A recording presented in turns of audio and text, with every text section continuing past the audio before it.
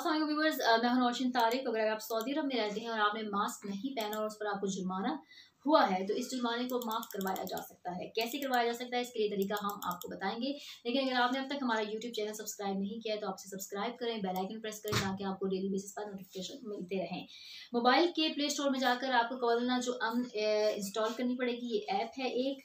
और इसके बाद, इसको इंस्टॉल करने के बाद इसमें अकामा नंबर डालना होगा मोबाइल नंबर डालना होगा, और इसके बाद आपको लॉगिन का ऑप्शन दिया जाएगा।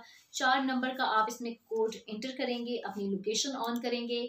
इसके बाद ट्रैफ़िक पुलिस का ऑप्शन सेलेक्ट करना है आपने। इसके बाद जिस शहर में आपको जुर्माना आयद किया गया था, उस शहर को आपने सेलेक्ट करना है।